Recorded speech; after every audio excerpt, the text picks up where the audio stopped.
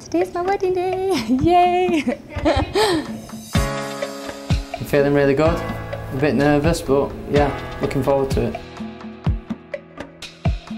Got engaged um, 2013 in Las Vegas so now we're back and ready to do it. The thing I'm looking forward to today is seeing Linny walking down the aisle and meeting all the guests who have travelled all the way from England. I'm looking forward to seeing Chris at the end of the aisle and seeing I do and becoming Mrs Hall.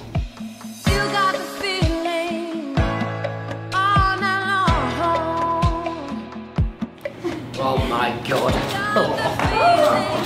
you look stunning, Barry.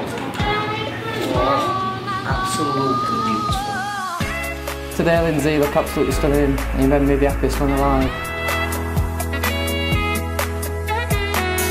But, uh, I can't wait to marry you and love you.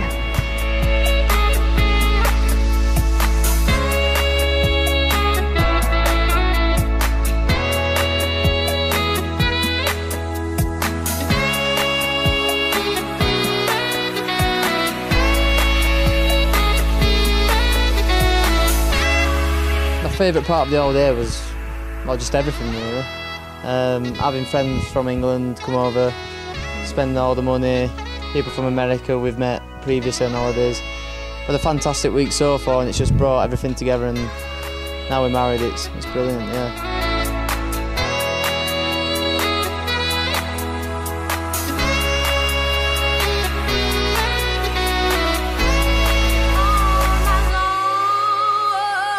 Um, as a couple, we really want to thank our family first, first and foremost. Whether that's money, doing things, supporting us.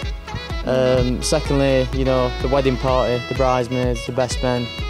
They've gone above and beyond what we expected. But also each and every guest like spent a lot of money coming to this wedding because it's abroad.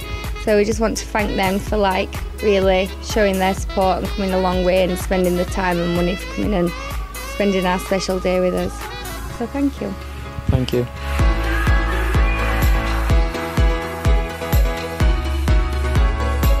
I asked, sorry, press that bit up. I asked, I asked him what the secret is to having a happy, successful marriage.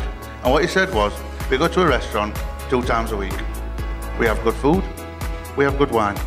She goes on Wednesdays, he goes on Fridays. I didn't say that, honestly, Kelly.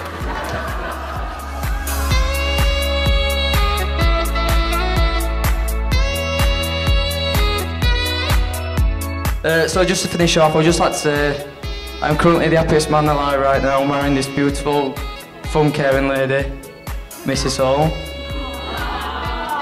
Just two and a half. We have shared some special times together and long may it continue. And I can't wait to spend the rest of my life with you. Cheers everyone.